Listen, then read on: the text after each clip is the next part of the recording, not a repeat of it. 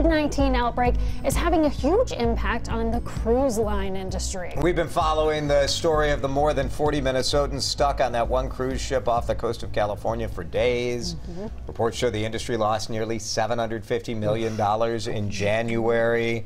You know, we had uh, another Minnesota couple quarantined on a cruise ship for two weeks. Mm -hmm. Yep. Uh, and that is the fear right now. If you have uh, tickets to go on a cruise, right. you can't risk it. You can't, you really who has the flexibility to possibly add two, three weeks to their right. vacation? And you talked to people yesterday making that talked decision. Talked to a gal yesterday. Right? She and her family uh, going uh, on a cruise. They had booked one for for next week, the following week, down out of Miami. Instead, they're going to go to Disney World and mm. and take the credit. Fortunately, okay. the cruise industry is stepping up and they're allowing credits and no rebooking fees and so forth. So people are not out their money. Uh, what amazes me, and it shows you how much people yeah. love to cruise, right. is that the first Minnesota couple that we talked about being quarantined, mm -hmm. they were offered another free cruise, mm -hmm. and you mm-hmm. think after you've been quarantined, you wouldn't do it. Yeah. You wouldn't do it. They were yeah. like, we would do it. Yeah. yeah. We would do it. So I think it's very attractive to people, and we know the cruise industry employs more than 420,000 Americans. Which is right. huge. I mean, they're taking a huge brunt from this. Yeah. I mean, this industry is. You know, it makes me think back to the swine swine flu. You know, mm the mm-hmm. pork industry took the brunt. You know, we had mad cow.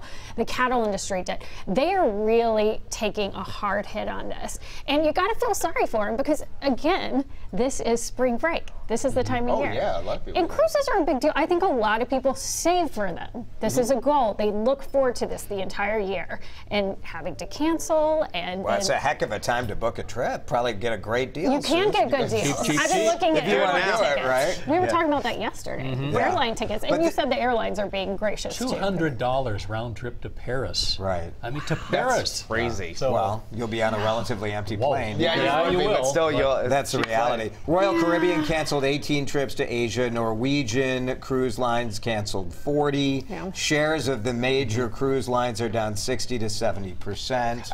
Uh, and it's the risk of quarantine, I think, is the number one Even thing. more than COVID. Really. Yeah, so I think How long so. does this because continue? That's the that's the question.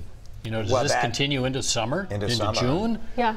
It's going to be devastating. I just feel for the people because you know it's the thing. This yeah. could be one trip of a lifetime. Right, they say absolutely. for you know people love their vacations. You know, with mm -hmm. kids, the Disney cruises, it's huge. Yes. So it's just it's a bummer for everybody that it has to do this, especially the workers too. I mean, you know, we talked about 420,000 Americans. It's a lot of people. That's of true. People Telling kids they can't go on a Disney cruise. Yeah. Well, you know, it's the family thing. You know, this is maybe the one time a year that the family can actually do a big vacation again. Yeah, you know, absolutely. So yeah, unfortunate. Well, we'll follow it as and, and see if people, you know, how cheap does it have to be? I don't know if reducing no prices price is, is going to make a difference. One, I'll tell yeah, you that. That's right.